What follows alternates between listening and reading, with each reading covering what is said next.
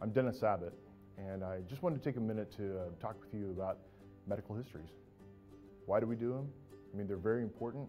We all look at them, but maybe there's a way that we can think about them that we haven't thought about before. If there's something in that medical history that you need to reach out to the physician on, it's a marketing opportunity.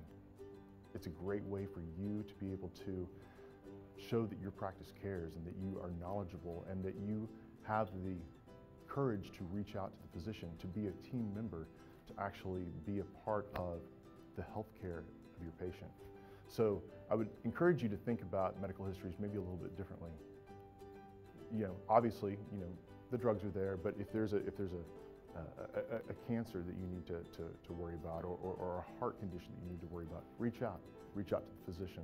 Let that be an opportunity to grow your circle.